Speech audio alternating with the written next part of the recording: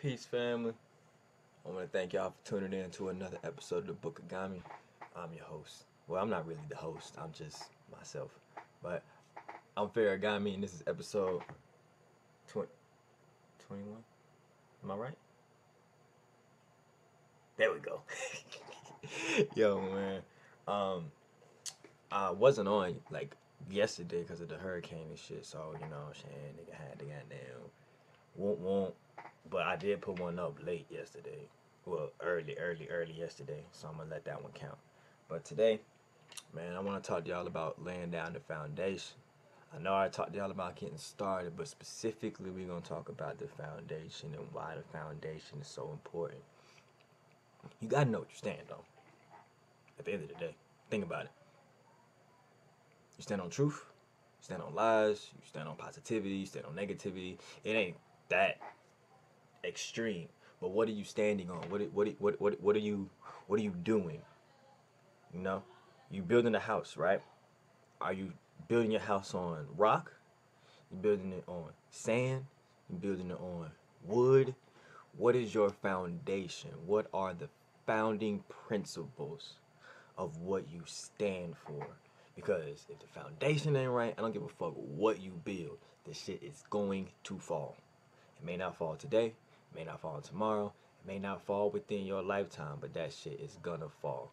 You have to be 100% straight, 100% certain that what you're standing on is something that's going to stand the test of time and something that you can 100% get jiggy with. Now, let's talk about different foundations. We'll talk about me, for example. I want to inspire y'all.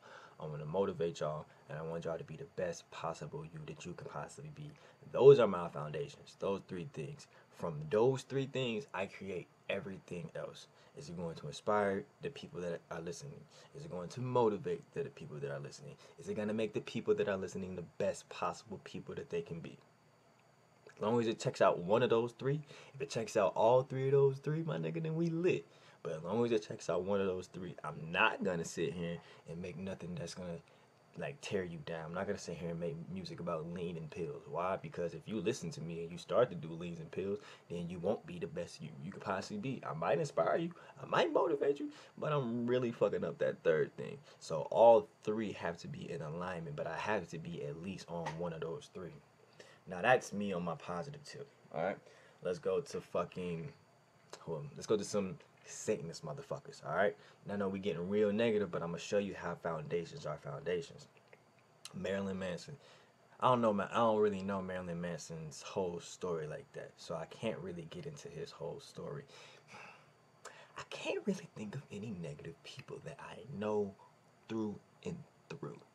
But regardless, you're to sit here and you're to deceive people, you need to make sure that your foundation is heavily within deceiving people.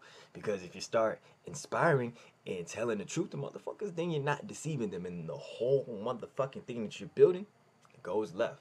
You know what I'm saying?